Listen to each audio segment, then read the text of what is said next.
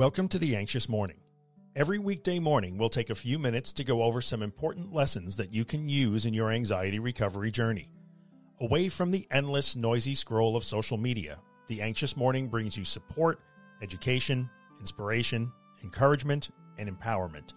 For more, visit us at theanxiousmorning.com.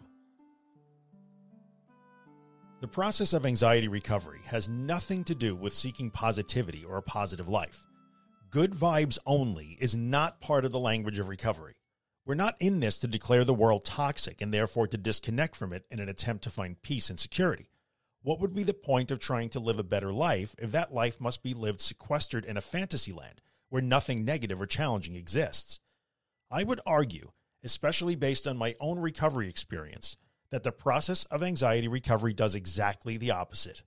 Traveling this path presents us with challenges that teach us how to handle adversity. We learn to move through negative situations rather than to retreat from them. We practice flexing our tolerance muscles in order to discover just how capable we are of dealing with situations that are hardly ideal and are most certainly not positive or full of good vibes. Sometimes we are handed a misleading image of what a recovered life looks like. Social media will bury us in images of well lit, happy people peacefully sitting on beaches or on mountains, suggesting that this is where we must arrive to call ourselves recovered. But this is not true. Beaches and mountains are awesome, but they are not all of life. They are not even most of life. Those images aren't terribly accurate or realistic. The recovery process teaches us the skills we need to become healthy participants in the real world, which is sometimes not such a pleasant place. It makes us productive, not isolated. It prepares us for reality. It does not drive us into a fantasy world where only sunshine and rainbows exist. The trial by fire that is recovery makes us capable of handling life, whatever that means.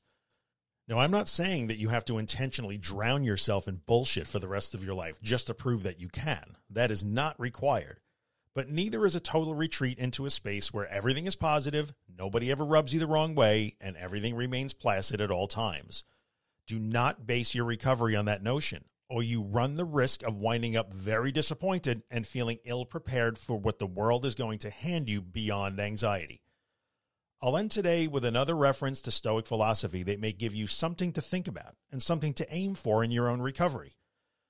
Best-selling author Ryan Holiday wrote, the image of the Zen philosopher is the monk up in the green, quiet hills or in a beautiful temple on some rocky cliff. The Stoics are the antithesis of this idea. Instead, they are the man in the marketplace, the senator in the forum, the brave wife waiting for her soldier to return from battle, the sculptor busy in her studio. Still, the Stoic is equally at peace. Tomorrow, we'll take our first look at a popular topic generalized anxiety disorder.